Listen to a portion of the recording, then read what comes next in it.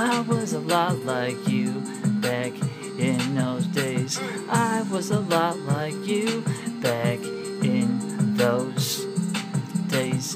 In those days when I didn't really think about my own foolish ways. All I really wanted to do was just puff up on that purple haze.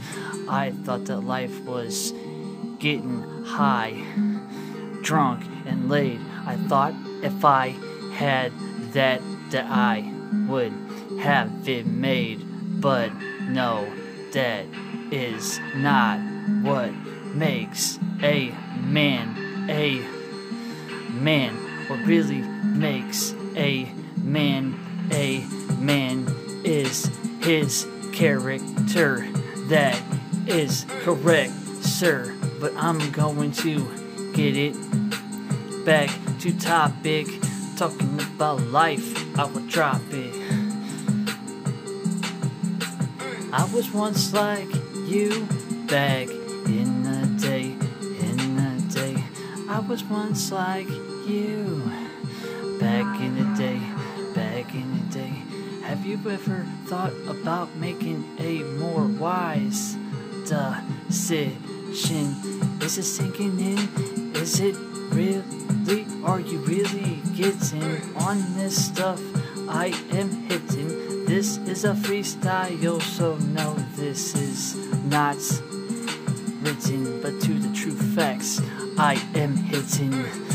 What I have to say in my message, I want you to be getting. The way I live my life, the quality was the poorest. Hear me out, and I really hope that you don't ignore this.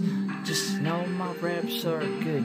People love me like Chuck Norris. No, you really cannot ignore this. I'm so stoned, I don't even know what the fucking chorus is.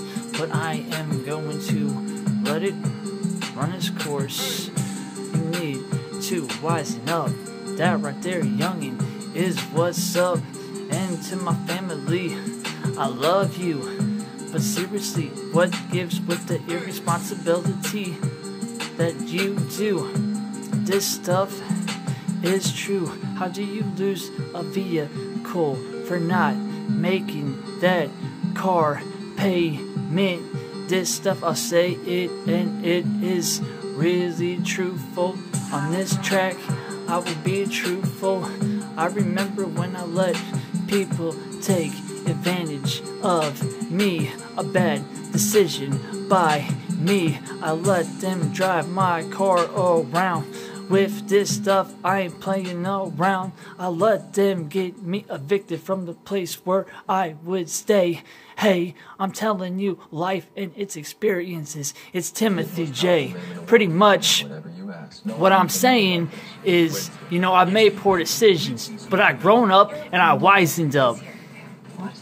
You know, you can move on, grow up. I'm grown now, but I ain't doing stupid shit. Message delivered. Wisen up.